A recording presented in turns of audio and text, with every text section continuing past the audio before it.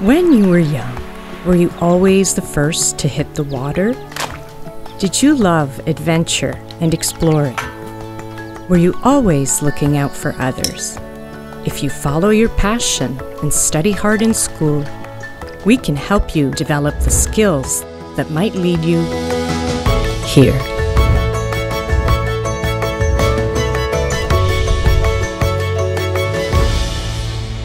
A message from the Government of Canada.